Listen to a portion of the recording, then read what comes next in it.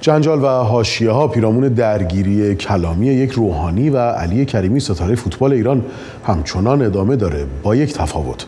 روحانی با پشتوانه جمهوری اسلامی صحبت می‌کنه و علی کریمی با اتکا به حمایت مردمی. افشار سیگارچی مروری داره برای این موضوع و واکنش کاربران بله آریان ماجرا از اونجا شروع شد که علی کریمی در یک استوری گفته بود که میلیاردها تومان خرج می‌کنیم نظری بدیم و در پایان آرزوی شفای بیماری رو داریم که برای نداشتن پول درمان میمیره. این اظهارات به مذاق برخی خوش نیامده. از جمله حامد رضا معاونیان آخوندی که در یک مراسم مذهبی در سخنانی به توهین و اهانت به علی کریمی پرداخت. خوب کریمی رو بیشرف احمق و الدنگ خوانده بود. کریمی هم حرفای معاونیان رو بی پاسخ نذاشت و در یک پست اینستاگرامی جواب داد که بیشرف تو دوزاری هستی که به اسم اسلام هر زر مفتی می‌زنه. کریمی در ادامه نوشت که معاونیان جربازه نداره که بخش کامنت و تک ها رو در شبکه های اجتماعی باز بذاره تا مردم نظر بدن. ولی من کامنتم رو باز می‌ذارم تا مردم نظرشون رو در مورد من و تو بدن.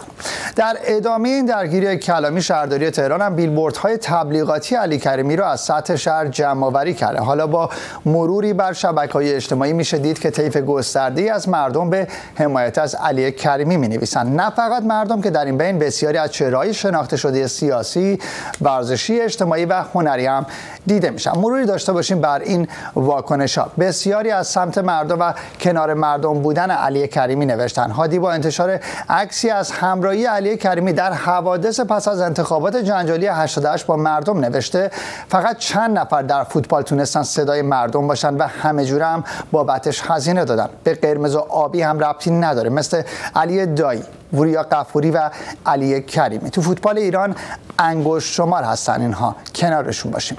صادق زیبا کلام هم نسبت به این موضوع واکنش نشون داده. اون نوشته که آقای کریمی نه با نظر مخالفه نه با مسائل دینی. سوال ایشون همونه که من از آقای محسن هاشمی سه سال پیش پرسیدم. آیا مردم راضی هستن عوارضی که به شهرداری برای خدمات شهری می‌پردازن صرف تبلیغات ایدئولوژیک نظام بشه؟ اگر راضی نباشن این هزینه ها از نظر شرعی چه حکمی پیدا می‌کنه. کاربر دیگری هم می نویسه آقای کریمی در مورد نظری حرف بدی نزده نگفته که ندید. گفته به مستحقش بدید. حالا اینا چرا ناراحتن؟ چون می‌دونن اگر قیمه و ساندیس نباشه آبرویی ندارن که کسی دور برشون جمع بشه. پیرامون واکنش حکومت در جمعآوری بیلبوردهای علی کریمی بهار نوشته که با حک شدنش بر قلب مردم می‌خواین چیکار کنید. منصور هم کاربر دیگری است که در این ارتباط نوشته خیلی باید احمق باشه که نفهمی کسی که در بایر مونیخ بازی کرده. مرد سال آسیا شده و محبوب ترین چهره فوتبال ایرانه.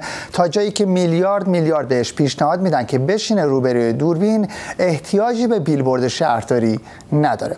به هر حال این رو در پایان اضافه کنم. در تمام این سالها چهرهای این چنین نظیر معاونیان روازاده یا حسن عباسی و برخی دیگر که بارها و بارها در سخنرانی هاشون به برخی چهره یا اخشار مختلف جامعه توهین کردند یا اونها رو تهدید کرد اما پاسخی به اونها داده نشد. اما این بار نه تنها بهشون پاسخ داده شد بلکه میشه گفت که این واکنش علی کریمی تندترین پاسخی بوده که تاکنون یک فرد در داخل ایران به یک روحانی داده. آریان؟ افشار سیگارچی از اتاق خبر صدای آمریکا با ما.